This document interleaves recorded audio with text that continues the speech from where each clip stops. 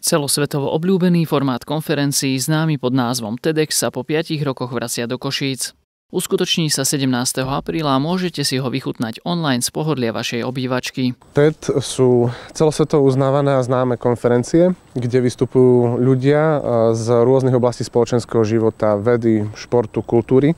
Na týchto konferenciách sa predstavujú rôzne inovácie v týchto oblastiach. Napríklad bolo prvýkrát predstavené CD práve na konferencii TED. Pod titulom e, tohto ročníka je Z dvora na Mars, čím priblížime e, prácu a život životy rôznych rečníkov a rečničiek z rôznych oblastí.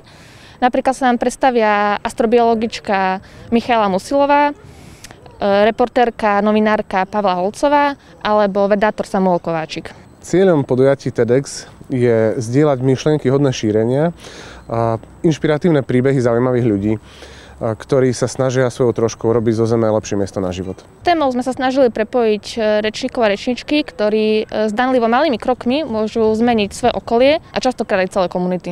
Diváci sa majú na čo tešiť, pretože je pripravený bohatý program. Bude pozostávať nielen z vystúpení rečníkov, ale budú tam aj hudobné vstupy a rôzne prekvapenia. Listky na podujatie sa dajú zakúpiť online cez platformu Tutut. K dispozícii sú rôzne cenové kategórie a k ním môžu diváci dostať aj darček.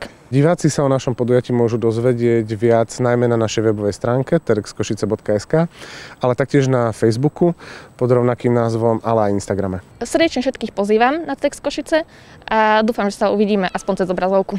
Roman Martinský, Telke.